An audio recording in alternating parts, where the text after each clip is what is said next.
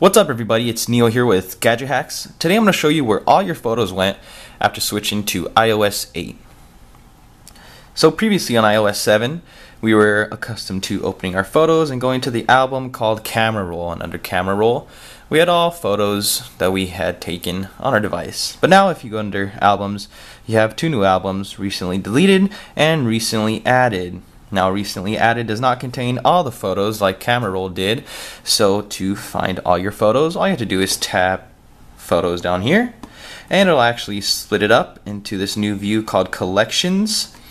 So, it'll actually give you a little broader view of uh, images based on a time period. Uh, on my device, it goes by weeks or certain uh, moments that I took, like in Los Angeles, Santa Monica, August 25th through September 18th.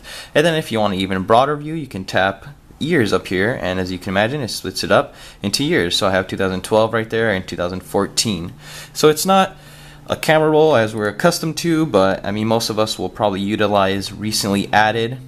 But there you go. Definitely check it out. Definitely check out the full guide on gadgethacks.com don't forget to like comment definitely subscribe for some more awesome gadget hack videos and thanks for watching.